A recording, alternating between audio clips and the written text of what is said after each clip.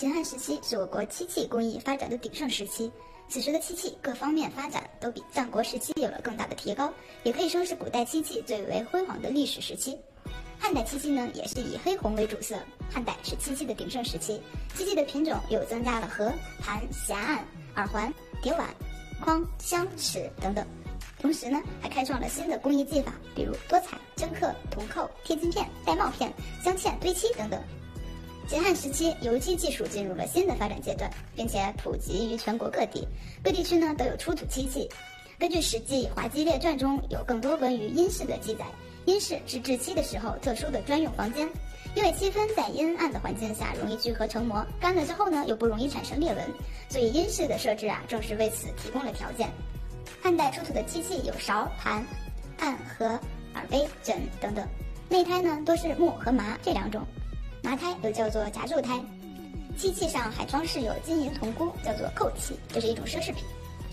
从出土的汉代纪年名漆器上可以看出它的制作年代、地点和工匠名，还反映出了漆工作坊里的劳动分工相当的繁细。这一点啊，为了了解当时的油漆技术操作过程，提供了宝贵的资料。近些年来，长沙马王堆汉墓出土的漆器就是汉初的代表作。关于漆器形制，秦汉时期的漆器是我国漆器工艺发展的鼎盛时期。此时的漆器呢，形制丰富，大致有盘、尊、勺、盒、耳杯等等。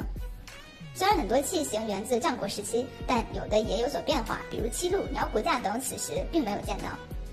关于漆器纹饰方面，秦汉时期的漆器纹饰非常的丰富多彩。常见的纹饰呢，主要有几何纹、动物纹、神话传说纹、自然景观纹和叙事画纹等等。几何纹通常作为器物的边饰使用。动物纹呢，分为写实之风和夸张之风。比如写实风格多以自然界的动物形象出现，而夸张的动物呢，多为云龙、云凤等形象。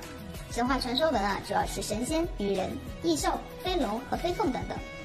自然景观纹呢，一般是云气纹，动感十足。叙事画常常是狩猎、歌舞、出游、孝子、烈女、历史故事等等。这些纹饰题材啊，一方面继承了传统，另外一方面呢，又有创新意识，具有鲜明的时代特征。关于漆器色彩。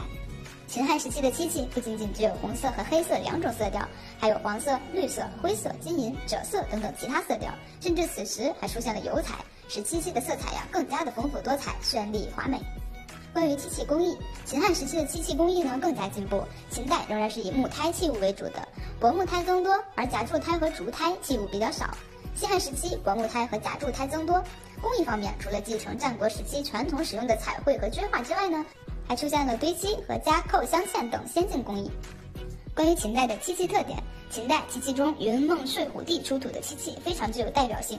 从秦简的记录和出土实物中可以看出，秦代绣漆工艺已经十分的发达，但是主要还是以实用器皿为多，而且是上层贵族所拥有的。欣赏性的漆器呢，几乎不会见到，很大程度上和秦代短暂的历史有着直接的关系。但是秦代漆器的纹饰却十分的发达，尤其是云梦漆器的纹饰相当的精美，又富于变化。使用的色彩呢，主要有朱、黑、金银、褐等等，尤其是朱和黑两色的使用非常的频繁。云梦漆器的画法是以单线平涂为主，用笔大胆豪放，具有一定的写意风格。而汉代漆器的特点呢，是在汉以前啊，漆器上的漆画多是宗教主题。汉武帝之后，漆画对日常生活的表现加强，装饰纹样增多，并且取代了之前的宗教主题。西汉时期的漆画具有两个对我们民族美术发展产生重大影响的特征：运动感的强调和用线水平的提升。在此时啊，云气纹和卷云纹最为流行，给人以飞扬流动、盘旋不息之感。汉代漆器呢，在我国很多地区都有出土，但是主要以西汉时期出土的器物为主，东汉时期出土的呢比较少。尤其是众所周知的马王堆汉墓出土的漆器啊，不仅惊艳了国人，更加惊艳了全世界。出土漆器几乎件件是精品，是我国极为珍贵的历史瑰宝。